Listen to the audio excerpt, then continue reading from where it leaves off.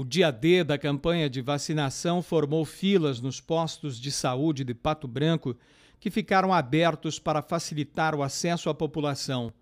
O Estado está preocupado com o baixo índice de cobertura vacinal. Os dados mostram que temos cerca de 600 mil jovens no Paraná e que apenas 5 mil foram vacinados no último ano.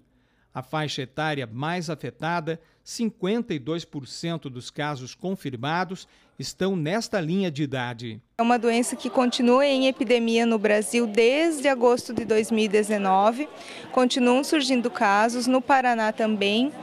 Então, todas as pessoas de 20 a 29 anos precisam realizar a vacinação da campanha. É, as outras faixas etárias dependem da carteirinha de vacinação, então é sempre importante trazer a carteira para ser avaliada. Fabiane Piquete esteve na unidade de saúde para conferir suas vacinas, se estavam ou não em dia, e foi surpreendida. Teve que tomar três doses. Eu vim para ver se estava tudo certinho e acabei levando três vacinas.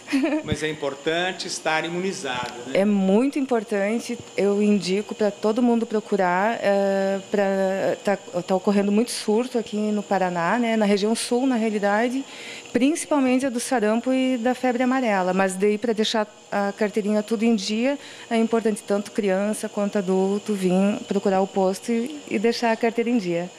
Vale lembrar que, embora não seja uma doença que estivesse comum em anos anteriores, o sarampo é muito perigoso e contagioso. As consequências podem aparecer anos depois e as complicações podem levar à morte.